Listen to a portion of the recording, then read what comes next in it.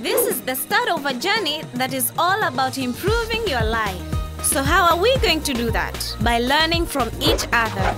My friends and I are always discovering things about our lives, finding ways to help us understand the world around us. Oh!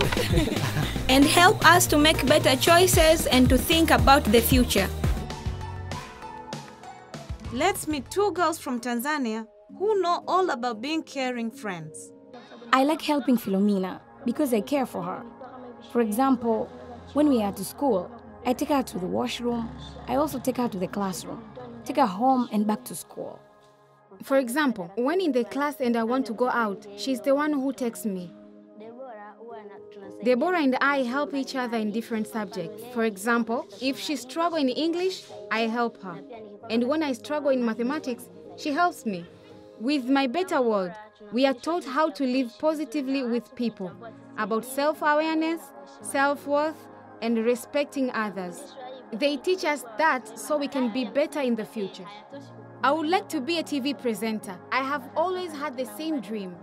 I would like to present news and focus on issues in society.